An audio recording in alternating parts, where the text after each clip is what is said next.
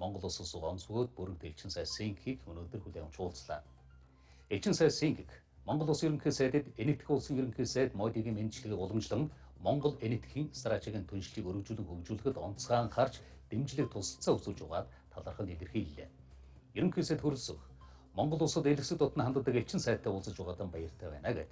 Энэтхэг улсын ерөнхий сайд Модигийн Монгол улсад Монгол улсын ерөнхийлөгч Баттулгын энэтхэг улсад хийсэн ажил харилцан хамтын ажиллагааг эрчимжүүлэхэд чухал түлхэж улсныг тэмдэглэлээ. Хамтын ажиллагааны эрчийг цаашид улам нэмэгдүүлэн дээд өндөр түвшний ажлын давтамжийг хадгалж харилцааг бүхий салбарт хөрвжүүлэхин төлөө байгаагаа нотоллоо. Талууд энэтхийн засгийн газрын хөнгөлтэй зээлээр баригдах газрын тус боловсруулах үйлдвэрийн төслийн хэрэгжилтийг эрчимжүүлэхээр тохиролцлоо. Мөн энэ он тохиож байгаа Монгол энэтхийн хооронд дипломат харилцаа тогтоосны 65 жилийн ойг тэмдэглэн өнгөрүүлэхэд өндөр ач холбогдол өгч байгаагаа элчин сайд Сиг хэлсэн байна. Ерөнхий сайд хөрөлсөх COVID-19 сар таглыг даван туулах иргэдийнхээ эрхшгийг хамгаалахад онцгой ач холбогдол өгч байгаа гэлээд энэтхэгт цаатаад байсан Монгол иргэдийг татаж авахд дэмжлэг үзүүлсэнд талархал илэрхийллээ. Шүүхийн тухай хуулийг